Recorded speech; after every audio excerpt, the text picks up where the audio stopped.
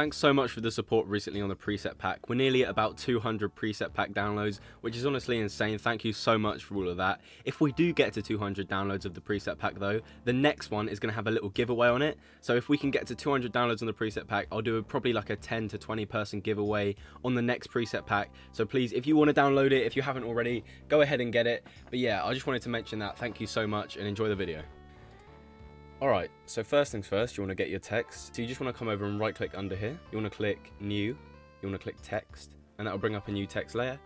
And first we're going to do your name, and then we'll do the highlights, and then we'll do the number. But just write your name. I'm just going to write name on it so that it so that it can be used uh, anywhere. Because I am going to actually release the project file. There'll be links in the description to the project file and probably the pinned comment as well. If you want to download it instead of having to follow the tutorial, you can just use a project file and just tweak what's in it. So it's your name it might be really small. If it's really small, just uh, come over here and to the right where it says character and then come and increase this a bit, the pixels. I'm going to go for about that size, I reckon. And then you just want to come over to a line and just uh, center it like this, but don't center it like this because it's usually a little bit higher. I'm going to put it about here, but it's really up to you. You just want to make it a little bit higher than the center just because all the other stuff's going to go below it. So I'm going to go, I reckon I'm going to go about here. If you want to move it up and down, you can hold shift and it will lock it to the center so you don't have to keep aligning it to the center. So I'm just going to, I'm going to put it about here, I reckon. I think that looks good to me. So that's name. And now what we want to do is we want to add all the other name text. So to add the second text, all I'm going to do is just click on this down here, control C and control V.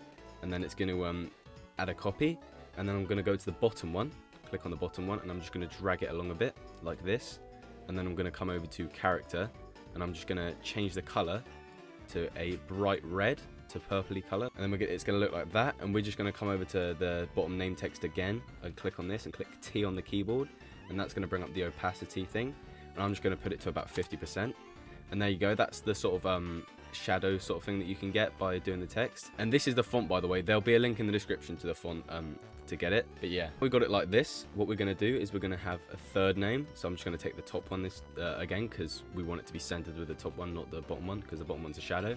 Just Control C, Control V once again. Drag this one to the bottom below all the other names and then just increase the size of this one. You can hold shift to lock it so that you don't increase the size incorrectly. And we're just gonna we're just gonna center it again like this. Just play around with it until you like the size of it. Anyway, the backwards name, once again, to make this a black outline instead of what it looks like now, you just want to come over to character you just want to come over to this right here and you just want to click this little uh, no fill color button here on the top and then come over to the back like this click on it and make it black. So I'm gonna make I've made it 1.5 pixels larger. I think that looks the nicest but it's up to you. You can play around with it. You might have a different um, resolution to me because I'm using a 1920 by 1080 you might be using 720p or 1440p so just play around with it.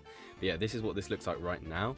And now I'm going to show you how to do the um, text below it. We just want to grab the two top texts, so these, these texts here, Control C, Control V, drag them down, and then you just want to make sure you reorder it because currently you got the wrong one on the top, so I'm just going to reorder it like this. Perfect. And then I'm just going to change the name, change what it says. make sure both of these are all in caps as well just because um, the caps is how you get the text to look like this. Otherwise, it will um, be in lowercase, but it's really up to you what text you use. But just for this text, if you want it to look exactly the same, it does have to be in caps. But there you go. So we got it like that. And now I'm going to um, shift click on the sides over here and just drag them to the middle. Shift click, drag it to the middle, just so that it's centered and that looks centered to me. I'm going to actually decrease the size of this and squish it a bit, just like this, because that's roughly how um, Soillan does it in his pre in the previews that I've watched this off. And then I'm just going to add the bottom text finally, which is going to be the um, number. So Control C, Control V once again.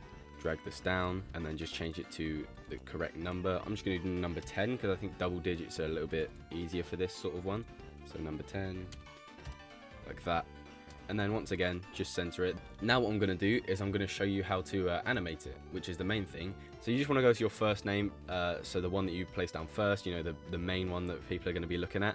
And you just want to click on this pen tool up here. So you click on here, click on the pen tool up the top, or you can press G on your keyboard if you want. And you just want to make a um, sort of square around the name. So just like this. It doesn't have to be a square, it's really up to you. You can make it like this if you want it to look a little bit uh, different. But yeah, so we've got a square around the thing now, and we're going to keyframe it.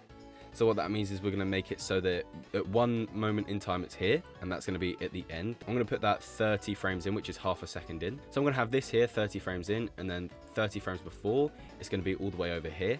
And this means that the text won't be seen until this comes on top of it, because that's how the mask works. So to do that, you just want to come down to the name that you applied this to, click on it, and then click on masks.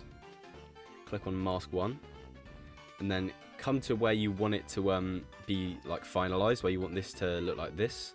So I've got mine at 30 frames. You can look down here to to see uh, how many frames you're in. And I'm just going to click mask path, click the little stopwatch by mask path, and then drag it all the way back to the start. And you want to put a keyframe here by pressing this. And then you just want to select all of these up here, and then just drag it. Drag it back so that it's not touching the text, and you can see that the text is gone. So if I go back and show you, that's where the text is, that's where it isn't, because the text has to be inside this to be uh, on the clip. So if we just drag it over here, it'll be gone. What we're going to do now is we're going to come down again to the mask. We're going to Control C, click on the mask bit here and click Control C because we want to copy the mask. And we're going to actually paste it on the second name. Make sure your pinhead is, um, a, I'm going to go five frames from the start because we want it to be a little bit staggered. And then just press Control V again and it will place it on the second name. And what this means is that there's a little delay so you can see like this. You can see how the, the behind goes first and then the top goes second. And that's what we want it to look like. So just like this. So there you go. That's exactly what we want. Now what we're going to do is we're going to copy the mask again. And we're going to go to the very, uh, the very bottom name. So the very back name, the big uh, black outline one. And we're to, we're to come towards halfway through, I reckon, where this text comes. Or maybe slightly before.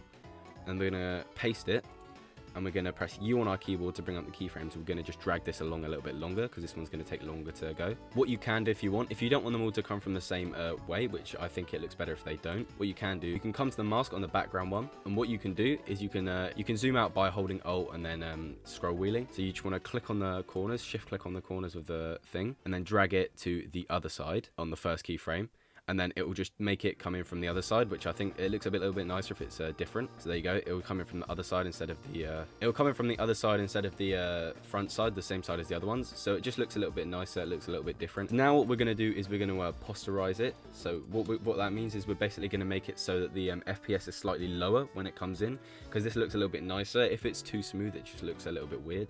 So to do that, all you want to do is you want to click on all of the name ones. So all of the ones that we just keyframed. So all of the, so these three here, we can want to come down to the left, shift click on them. So like this, shift click, get all three of them in. And then we want to right click. We want to click pre-compose. And then we want to, I'm going to name it name, but it, it's up to you what you name it. Just remember which one it is, you know. And I'm going to click OK. So we want to click on it now and we want to add posterize time. So come to effects and presets and search posterize time and then just it's under time and just drag it on to the top clip like this. And then change the frame rate. I like to go to 10 but it's really up to you. Okay so now we're gonna do the highlights text. And the way here that he adds the highlights text is slightly different. So to do this you want to come to the um, top highlights or the bottom highlights and then you just want to um, click on it. So now you just want to come to where your behind name is halfway through um, completing. So roughly here I think that's about halfway through completing and what I'm going to do is I'm going to come down to the transform tab on my top highlights text and I'm going to click on position. I'm going to keyframe it so that it's here at this point in time. And then I'm going to come back to the start of the clip and I'm going to drag it to the left. I'm going to drag the left one, which is the X, to the left. So that's all the way over here. Just like this, just so it's off screen. And it should slowly come in like this. And now what we're going to do is we're going to do the exact opposite for the highlights too. We're going to come down and you can press P on your keyboard if you want to get to position quicker. We're going to keyframe it here and we're going to drag it and we're going to come back to the start of the clip and we're going to drag it the other way this time so, that, so they come in from different angles. And now what we're going to do, that's literally perfect, that's all we need to do. And now we're going to do the same thing that we did with the names. We're going to shift click on it, right click, pre-compose, and then we're going to call this highlights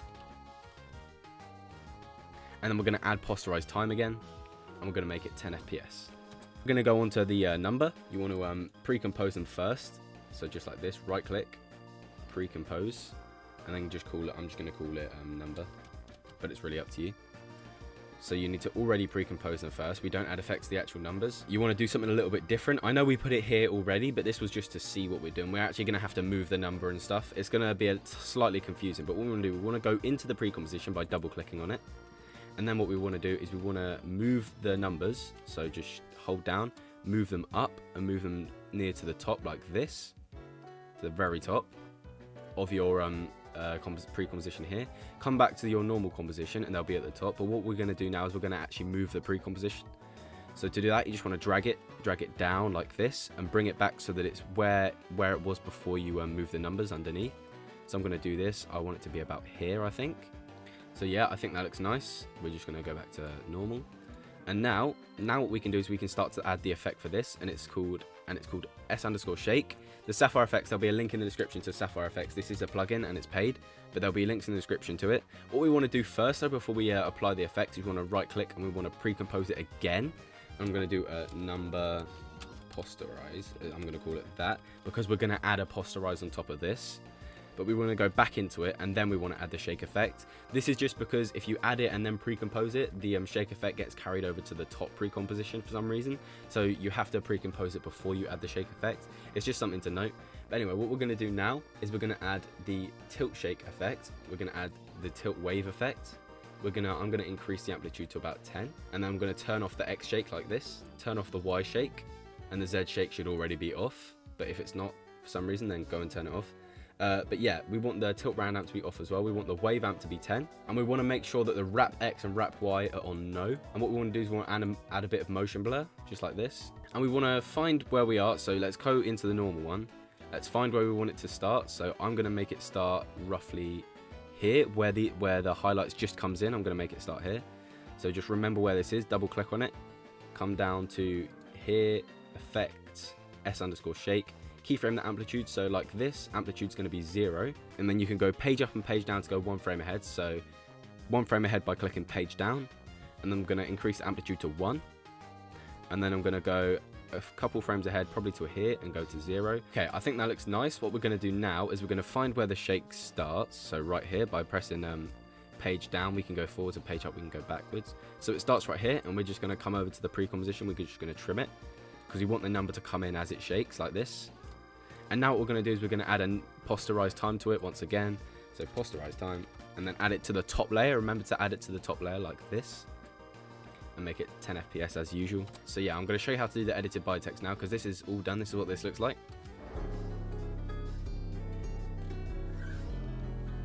So to do that, we just want to come over to the second uh, cinematic like this. We want to trim down the pre-composition so that they end perfectly on the second cinematic like that we just want to add new text. So we're going to have an edited by and then your name. So to do this, you just want to come over to your original name text. At least this is what I'm going to do. And I'm going to grab the two top ones. I'm going to press Control C. And then we're going to come back to the normal one. And I'm going to press Control V just like this. And it's going to add two new name text, which which is what we want. I'm going to come over. I'm going to change the um, layers so that it's correct. And this is going to this is going to say edited by so just so just change what it says click on it. And now it might be out of the thing but we're going to just change the size soon. Once again edited by and now we're going to change the uh, size. So just shift click on both of them and come over to the pixels on the right under character again and just lower it a bit. I'm going to make it uh, this big. I think maybe that big. And then you're going to have your name under it. I'm going to write a uh, name again just because i want it to be a little bit more ambiguous. But yeah to do that we just want to shift click once again, control C, control V as usual. And then we just want to swap what layer they're on like that so that the white's at the top. Then we want to shift click them both, drag them down so they're below and then change what it says. So click on the top one, change it to name. Click on the bottom one, change it to name once again. And we want to make it uh, fit so it's the same size as so that it's the same length almost as the top one. And to do that, you just want to come over to the pixels and increase it. So I'm going to do that. I want it to be the same size. It's really up to you. I want it to look like this. And now we want to center it. So we're just going to shift click on all of them. So make sure we have all of these selected. So on the bottom left. And we're just going to come over to, um, I'm just going to bring it into the middle. You can hold control to uh, lock it to the middle. So that's locked to the middle. And that's locked to the middle as well. Now what we want to do is we want to keyframe the mask again. The, we only need the mask for the edited by. And then the name is going to have a different um, transition. So we're going to come down to the edited by we're going to grab the mask and the mask path and we're going to start it. And we're going to go a couple of frames in. I'm going to go about here I think and then I'm going to keyframe the mask. So keyframe it so it's here. Come back to the start keyframe it again and I'm going to drag the mask drag the mask off the screen by shift clicking on all the corners and then just zooming out a bit and dragging it off the screen. I'm going to drag it just to here. So this is what that looks like. And we're going to do the same thing. So we're just going to copy the mask paste it on the other name. We want to make sure that the top name's staggered again, so I'm just going to bring the um, keyframe like this, bring it forwards a bit, so the lower name comes first. You see how the lower name's coming first before the top name. That's what we want it to look like. We want to drag it off a bit like this. So yeah, this is what it looks like. Alright, so now for name. To make the transition for name, you just want to come down to toggle switches and modes in the bottom left. You just want to click on it, and then it should come up with this. If you already have this, you don't need to click on this, but if it looks like, if your sort of bar over here looks like this, click on toggle switches and modes and it'll bring this up. If it already looks like this, that's perfect. All you have to do now is you have to come to the name, the name things right here.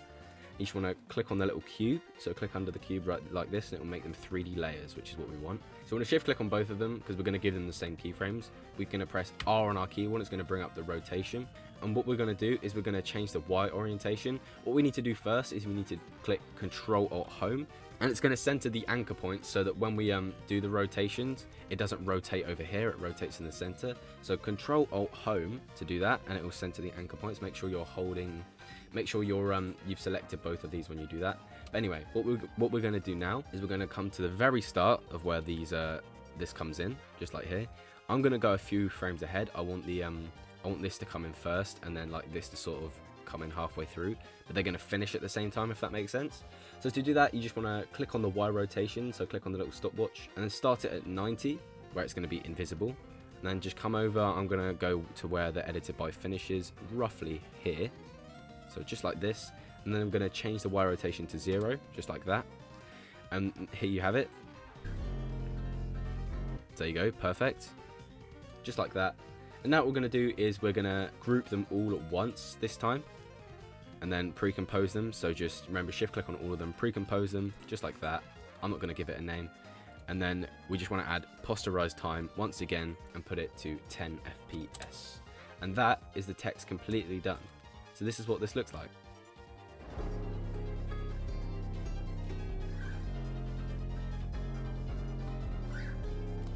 Okay, but now the text is done, that isn't completely it with the Soillan's intro. What we're going to do now is we're going to actually add a, a, a, blur over the top for the transitions, because that's important so that it looks a little bit less choppy when it just transitions like this. What we're going to do is we're going to have um, a blur. So to do that, we're going to add an adjustment layer on top, and we're going to go, we're going to right click on the thing over here, new, adjustment layer, and it's we're going to leave it over the top. We're going to just use keyframes to make sure that it's correct. And what we're going to do is we're going to add Gaussian blur, so we're going to add Gaussian Blur, which is, uh, you don't need a plugin for Gaussian Blur, just drag it on.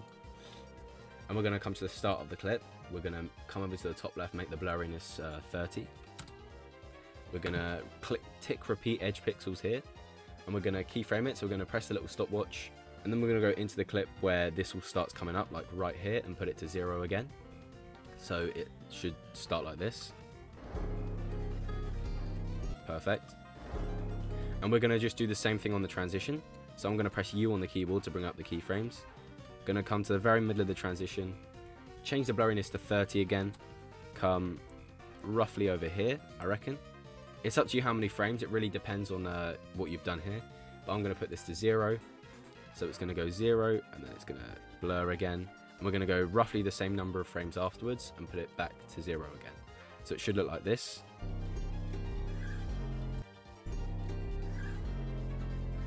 I'm going to actually increase the uh, length of this.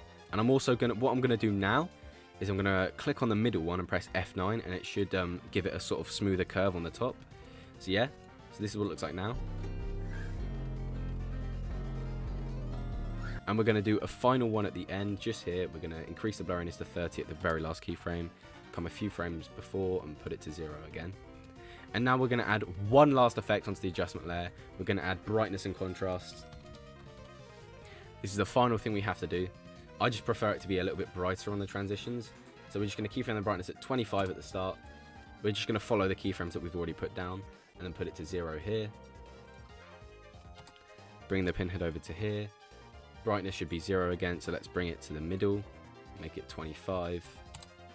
Come back here, put the brightness back to 0. Come to here, put the brightness to 0. Come to the very end of the clip, put the brightness back to 25 again, and then come to the keyframe just before and put it back to zero again. And this is the whole thing done, and this is what it should look like.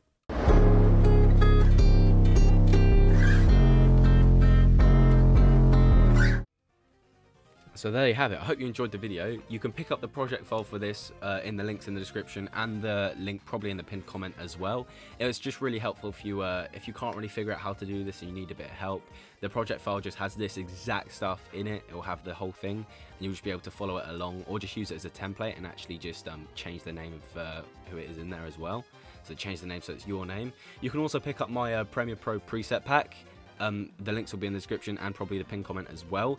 If you want to just have a easier time editing on Premiere Pro, if you want to just drag effects on instead of having to, you know, work them yourself, it's really simple to do, really easy. Uh, 200 plus presets in there and stuff. I'm going to release an After Effects version of the uh, Premiere Pro pack soon, but for now it's just a Premiere Pro pack. There was prob there'll probably be a pin comment with the After Effects one uh, if you're watching this uh, a couple of weeks after I've released a video, because there's a likely chance that I will have completed the After Effects one by then. But yeah, I'll see you in the next one.